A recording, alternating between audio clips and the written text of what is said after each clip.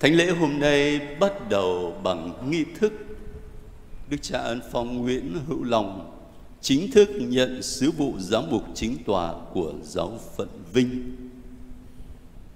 Nghi thức đó có vẻ đơn sơ thôi. Công bố tông sắc của Đức Thánh Cha Francisco.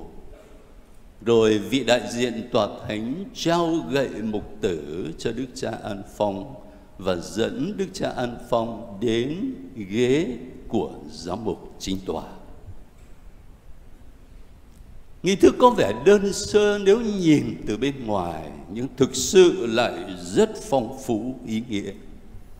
Và chính lời Chúa qua các bài kinh thánh được công bố trong thánh lễ hôm nay giúp chúng ta hiểu ý nghĩa phong phú đó. Ở trước hết, nghi thức bắt đầu bằng việc công bố tông sắc của Đức Giáo Hoàng Francisco đặt Đức cha An Phong Nguyễn Hữu Long làm giám mục chính tòa giáo phận Vinh. Tông sắc đó được viết bằng tiếng Latin, dịch ra tiếng Việt cho chúng ta dễ hiểu thôi, chứ còn bản gốc vẫn là tiếng Latin. Có chữ ký, có con dấu của Đức Giáo Hoàng Francisco. Rồi tông sắc đó được vị đại diện tòa thánh tại Việt Nam trao tận tay Đức cha An Phong.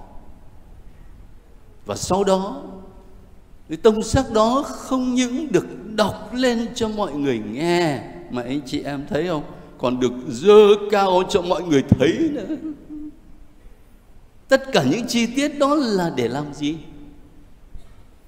Để chứng thực rằng Đức cha An Phong Nguyễn Hữu Long hôm nay về nhận giáo phận vinh trong tư cách là người được Chúa xài đến chứ không phải là kẻ làm thuê, và lại càng không phải là kẻ trộm, leo rào mà vào chuồng chiên.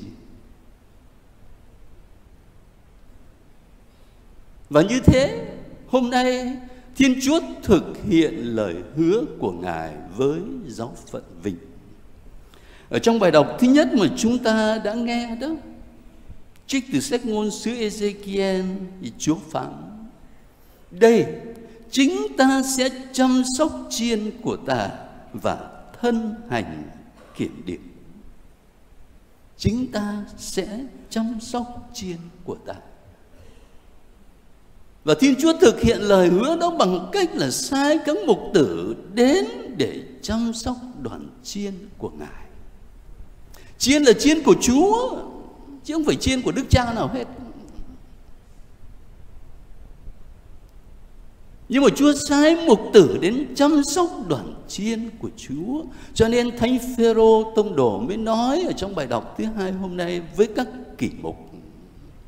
Anh em hãy chăn dắt đoàn chiên mà Thiên Chúa trao phó cho anh em và hôm nay, Đức Giáo Hoàng Francisco đứng kế vị Thánh Phêrô cũng nói với Đức Cha An Phong như thế.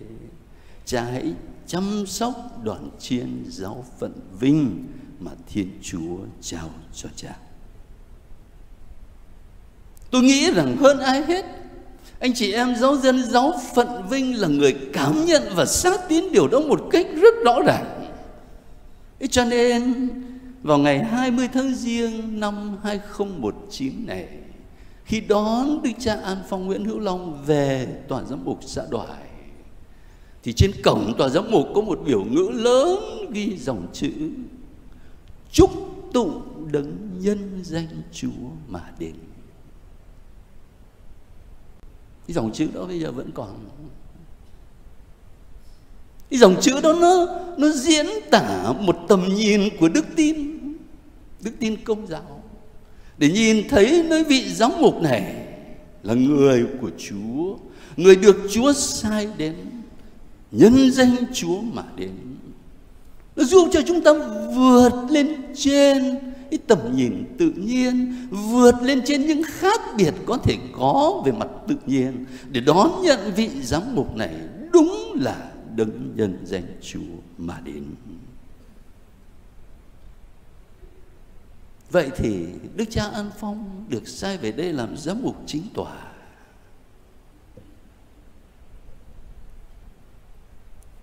Ngài làm cái gì? Sau khi công bố tông sắc của Đức Giáo Hoàng Francisco rồi, thì vị đại diện Đức Thánh Cha tại Việt Nam trao gậy mục tử cho Đức Cha An Phong. Có một tác giả nói rằng, vương trượng, trong tay một vị vua có ý nghĩa như thế nào, thì gậy mục tử cũng có ý nghĩa như thế với giám mục, giáo phận. Có nghĩa là cái gậy mục tử đó biểu trưng cho quyền lãnh đạo giáo phận Chúa ban cho quyền lãnh đạo đó để làm cái gì đây? Dựa vào những bài kinh thánh được công bố trong thánh lễ hôm nay thì tôi nghĩ rằng trách nhiệm lớn nhất của người lãnh đạo giáo phận là quy tụ anh chị em nhớ lại trong bài đọc thứ nhất mà chúng ta nghe đó, Chúa nói làm sao? Như mục tử kiểm điểm đàn chiên Bị tán mát thế nào? Tán mát Chiên nó bị tản mát Bây giờ mục tử kiểm điểm xem, Nó còn đủ không? Có con nào lạc đàn không? Để quy tụ cho đầy đủ và trong bài tin mừng thì Chúa Giêsu phán, Tôi còn có những con chiên khác không thuộc đàn này. Tôi cũng phải đưa chúng về Và sẽ chỉ có một đoàn chiên và một mục tử. Tôi phải đưa chúng về. Quy tụ chứ còn gì nữa. Cho nên cái trách nhiệm lớn nhất của người lãnh đạo giáo phận Là quy tụ đàn chiên là kiến tạo sự hiệp nhất trong gia đình của giáo phận. Và chính vì thế mà hiến chế tín lý về hội thánh viết rất rõ thế này. Tôi xin trích nguyên văn một câu ở số 23 Đức Giáo Hoàng đứng kế vị thánh Phêrô là nguyên lý và nền tảng vĩnh viễn hữu hình của sự hiệp nhất giữa các giám mục cũng như giữa các tín hữu còn mỗi giám mục là nguyên lý và nền tảng hữu hình của sự hiệp nhất trong hội thánh địa phương của mình. Sự hiệp nhất đó hết sức là quan trọng. Nó là nền tảng để cho chúng ta có thể thi hành sứ vụ loan báo tin mừng của Chúa Giêsu trên địa bàn rộng lớn của giáo phận Vinh chúng ta trách nhiệm của người lãnh đạo giáo phận là quy tụ, là hiệp nhất. Thế thì ngài thực hiện cái việc quy tụ và hiệp nhất đó bằng cách nào? Cùng với việc trao gậy mục tử cho đức cha an phòng, thì vị đại diện tòa thánh dẫn đức cha an phòng tới cái ghế của giáo mục chính tòa trong nhà thờ chính tòa này. Nhà thờ này được gọi là nhà thờ chính tòa bởi vì có cái ghế đó, có cái tòa đó. Ở trong giáo phận vinh có lẽ có những nhà thờ lớn hơn nhà thờ xã đoài, nhưng mà không được gọi là chính tòa bởi vì không có cái ghế này. Ở cái ghế này, vị giám mục ngồi để chủ sự thánh lễ và những nghi thức phụng vụ trong giáo phận. Và ngày xưa, giám mục cũng ngồi ở cái ghế đó để giảng lời Chúa.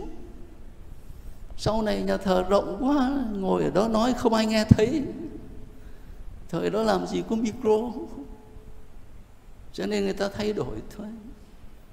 Giám mục ngồi đó để giảng lời Chúa cái hình ảnh đó giúp cho chúng ta hiểu giám mục giáo phận quy tụ đoàn chiên nhờ lời của Chúa. Anh chị em có bao giờ dự à, lễ phong chức giám mục chưa?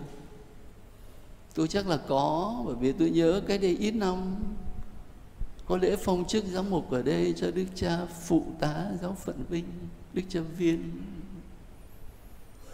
thế thì anh chị em nhớ lại coi trong nghi thức phong chức giám mục, khi giám mục chủ phong đọc lời nguyện phong chức, thì cuốn sách thánh được mở ra và đặt úp lên trên đầu của vị được phong chức. Cái hình ảnh nó muốn nói cái gì? Muốn diễn tả rằng lời của chúa phải thấm vào trong con người của vị giám mục đó. Không những chỉ thấm vào đầu óc, nhưng mà phải thấm vào con tim và tình cảm và cuộc sống và hành động của vị giám mục.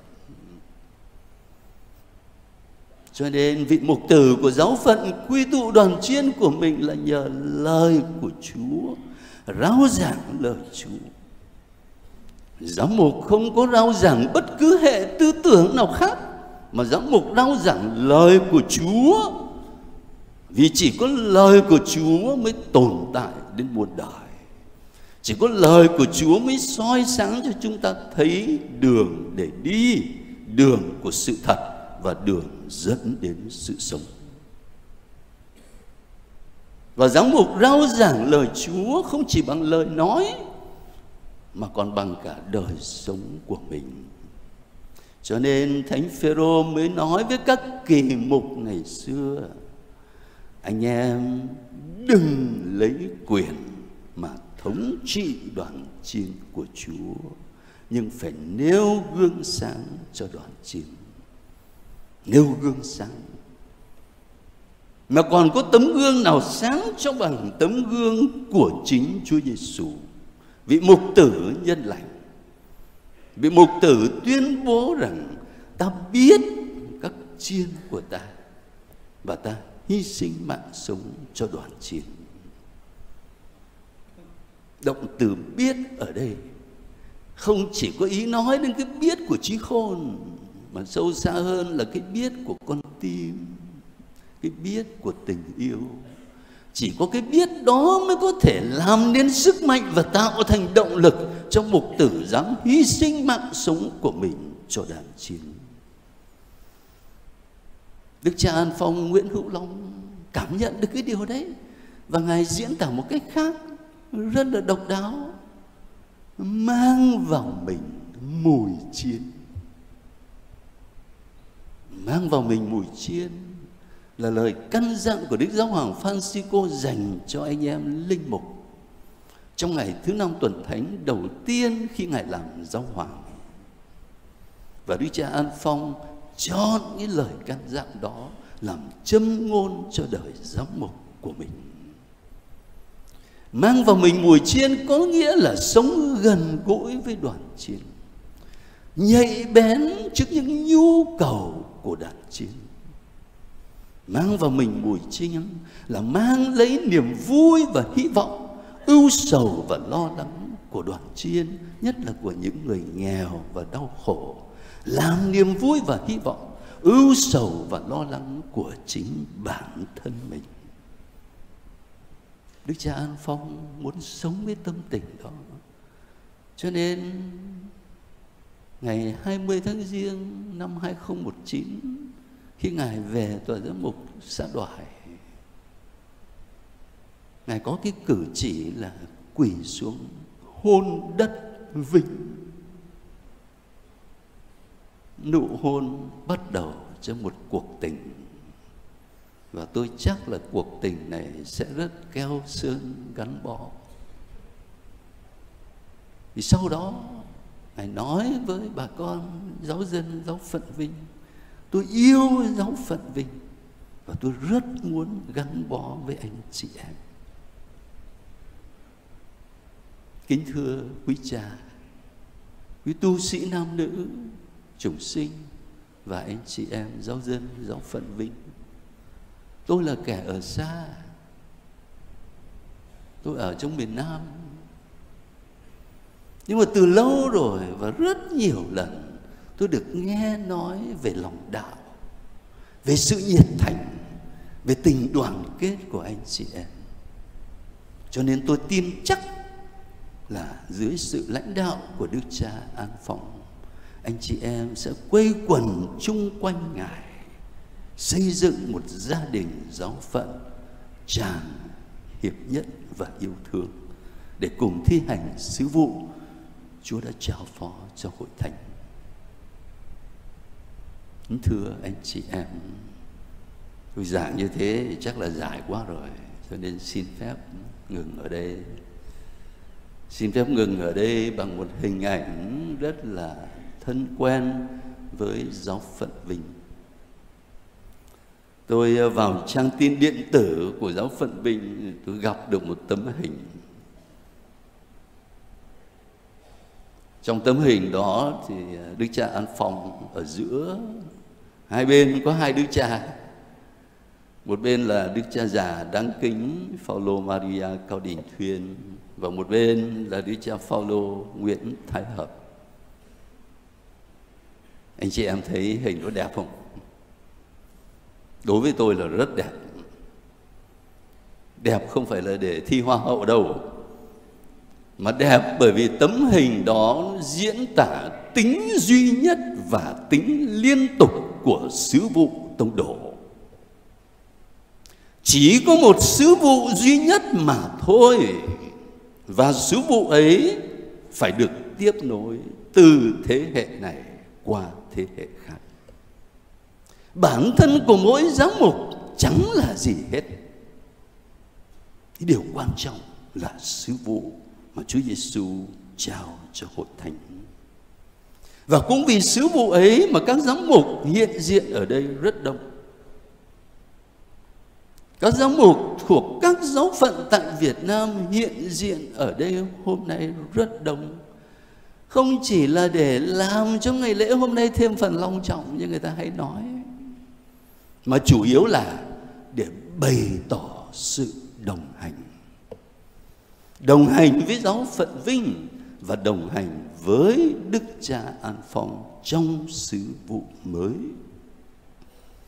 Mà không phải chỉ các giám mục mà thôi, nhưng thưa anh chị em, tất cả chúng ta, tất cả chúng ta đều được mời gọi để đồng hành với Đức Cha An Phong trong sứ vụ mới, sứ vụ quy tụ những gì còn tàn mát sứ vụ hàn gắn những gì còn là chia rẽ để kiến tạo sự hiệp nhất và với sự hiệp nhất ấy, chúng ta có thể thi hành sứ vụ loan báo tin mừng của Chúa Giêsu trên quê hương đất nước chúng ta một cách tích cực hơn và hiệu quả hơn.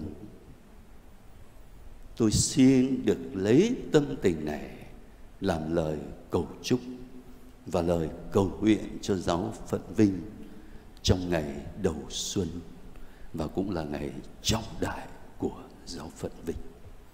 Amen.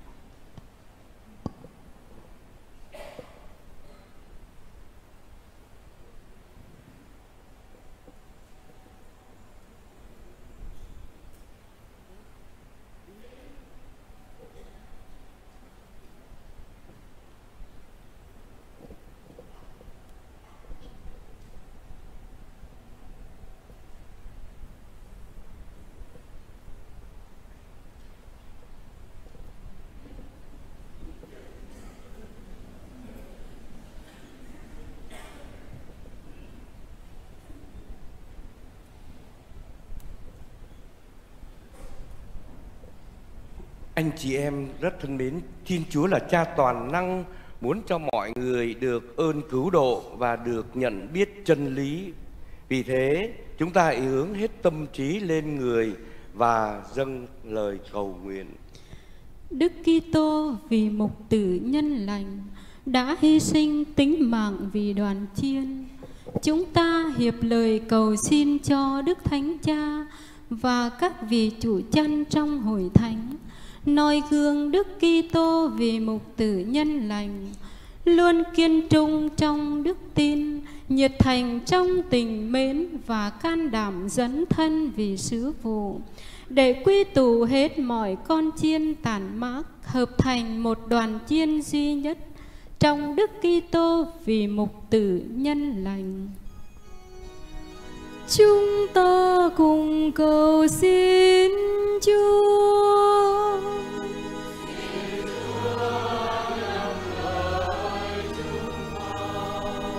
Gia đình giáo phận Vinh đang hân hoan tạ ơn Thiên Chúa, đã ban cho giáo phận một vị cha chung khả kính, để Ngài tiếp nối sứ vụ dẫn dắt giáo phận trong hành trình đức tin. Chúng ta hiệp lời cầu xin Chúa ban tràn đầy nghị lực và sức sống thần linh xuống trên Đức Cha An Phong trong sứ vụ mới. Với ý thức toàn tâm, kính trọng, vâng phục và cộng tác đắc lực của mọi thành phần con cái trong giáo phận, Ngài luôn hăng say dấn thân phục vụ, tận tâm mang vào mình mùi chiên của đoàn chiên được trao phó cho Ngài. Chúng ta cùng cầu xin Chúa.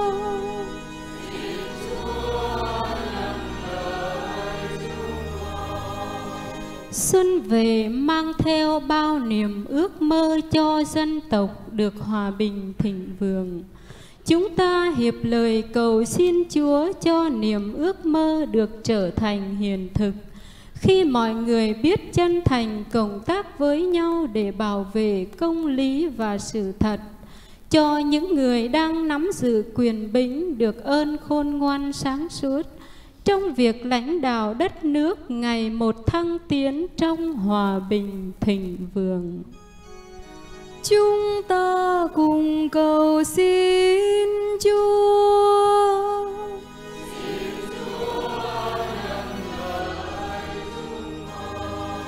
Trong tâm tình tạ ơn hôm nay, chúng ta cùng hướng về nguồn cội chung lời cầu xin Chúa trả công bồi hậu cho các bậc tiền nhân đã dày công xây dựng giáo phận, người còn sống cũng như kẻ đã qua đời.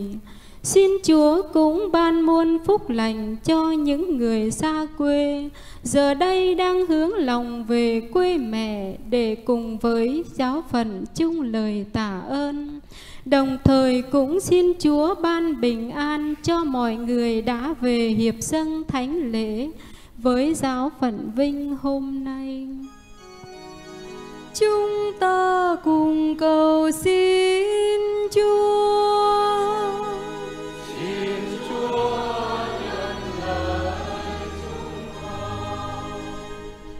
Lạy Thiên Chúa là nguồn tình thương, là sức mạnh và là nơi chúng con ân náu Xin nhậm lời cầu nguyện của cộng đoàn chúng con. Xin Chúa thương thực hiện những ý nguyện chúng con vừa dâng lên Chúa. Chúng con cầu xin nhờ Đức Kitô Chúa chúng con.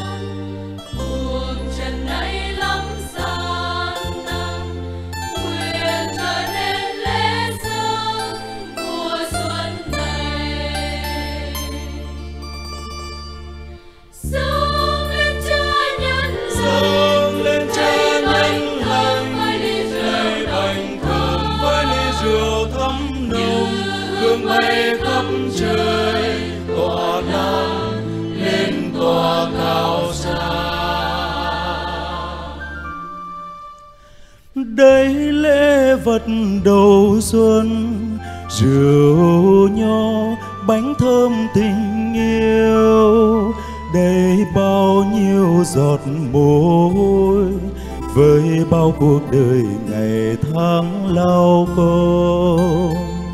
Xin cha thương đón lấy, làm lễ dâng hy sinh đời con. Lòng thành con tiến dâng cha giạt rào khúc hát ngân xa nguyện ngài ban xuống muôn ngàn ơn lành.